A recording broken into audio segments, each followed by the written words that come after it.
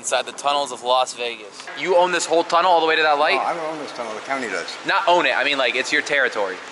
Uh, low key, low like, key. Like I said, several of us. There's several yeah. of us. How often do you walk through this? Easy, I run my dog through here. Oh, really? Oh yeah. No, she likes to come here. She likes to hunt rats. The amount of cobweb up here, insane. There's a prime bottle down here. Logan Paul makes it everywhere. Yeah, Logan Paul, really a good marketer, huh? Oh, this is pretty neat. You built your own dam? With the dog. Oh, that's Lucy. So uh, tell us about your sexual life down here with like you and little Lucy. Lucy's the dog. you just fucked that up. That's rude. oh, Lucy's the dog. From where he's from in the Middle East, they fuck the dogs.